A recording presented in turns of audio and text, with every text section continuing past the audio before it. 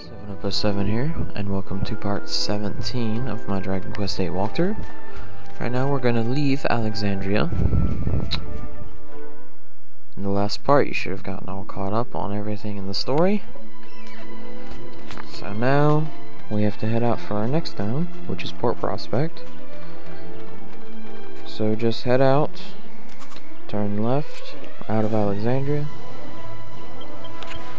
The battles out here should be really easy by now. You should uh, win in one or two turns.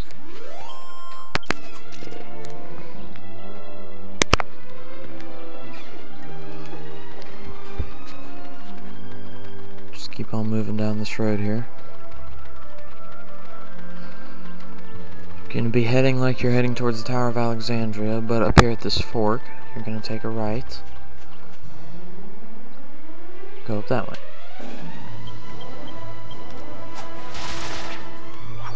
You still go a little ways until the monsters change. Now we're going to be going onto a beach to get a chest, and there's some pretty difficult monsters down there.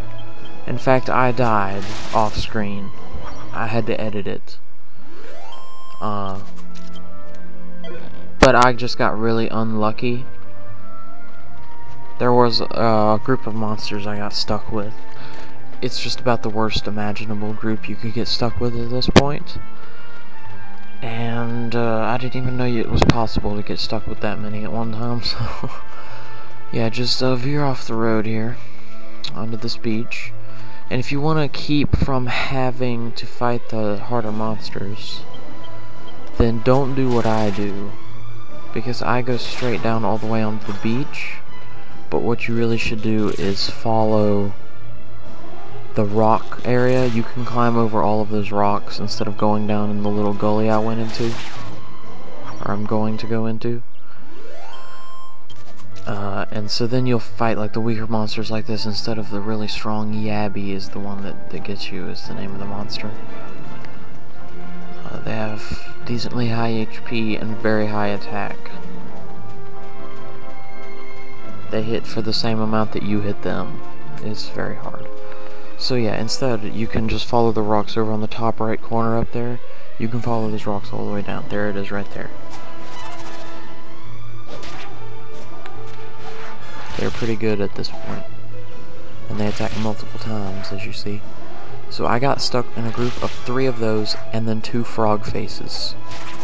So you can imagine, it was pretty hard, since you faced frog faces before in the Tower of Alexandria.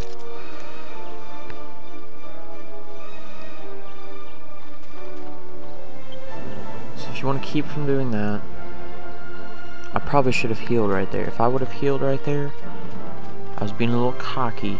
If I would have healed right there, then I definitely would have made it without dying, but... Okay, so you're gonna see this chest over here. I come, open it up, get the Seed of Strength. There's where I died, I edited that, I made it back over there.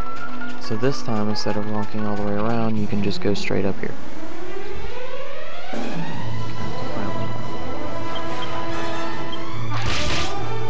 And then soon after this on the road is when monsters are to change on the actual path.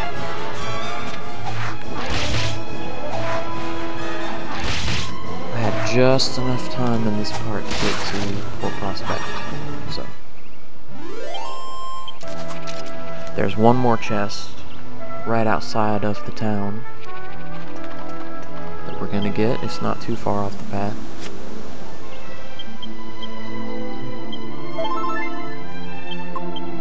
Came close to dying again. I'll do it one more time with Yangus too.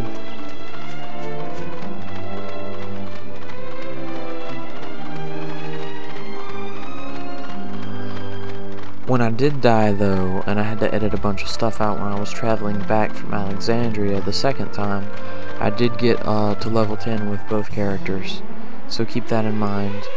Uh, I think that Yangus's axes got all the way up to 30, was it? I think so. And the hero got the 17 boomerangs, and now at 18 is when we're going to stop giving him that and move to spears. So uh, just be cautious of that. In case you happen to be a couple levels over me. Probably should have talked about them monsters, shouldn't I? Spiked hares are very annoying. So if you haven't noticed, we've gotten the new monsters now. Jail cats are easy. Spiked hares are really annoying when they get high tension. And later on I almost die because I get in a group of them with...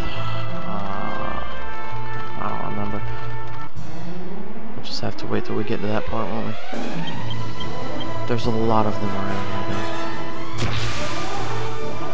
Oh, I get in a group with two of those and then two fencing foxes. And fencing foxes aren't bad, but with the spiked hares, they were kind of difficult. So I almost died there too.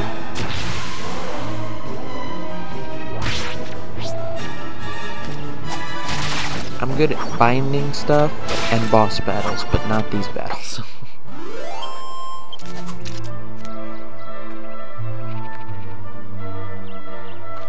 can do the boss battles pretty good.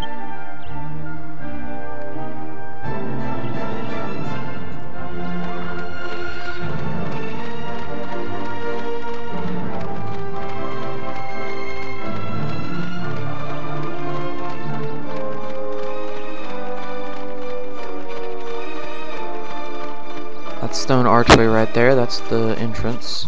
But we're going to veer off to the left here. Southeast. Now we still have a few of the same monsters here, as you can tell.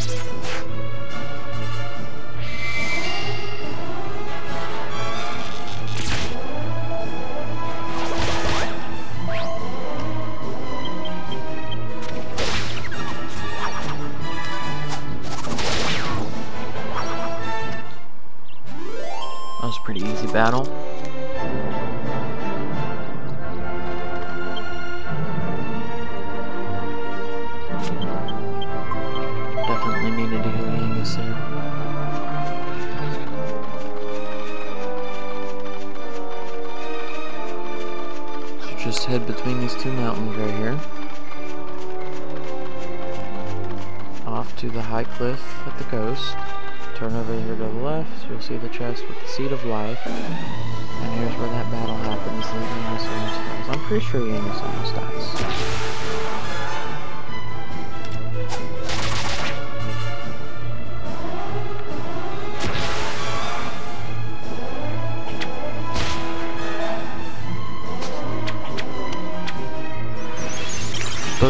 Uh, spike carriers psych up and attack, which is really annoying.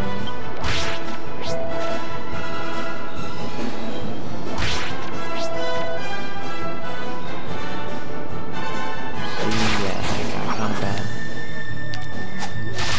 Yangus comes right back with a critical hit. By the way, that was the uh, ability that he gained whilst off screen. When I applied his axe skills, he uh, he gained the ability to hit more critical hits.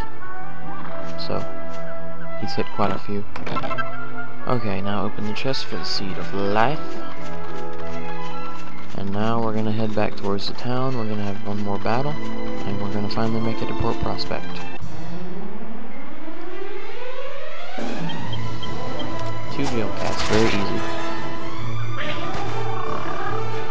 They do do this craft move though, which is their strongest attack and it can get very annoying. But they're pretty easy to take out fast, so not a whole lot to worry about. They usually don't cast it like twice in a row like that,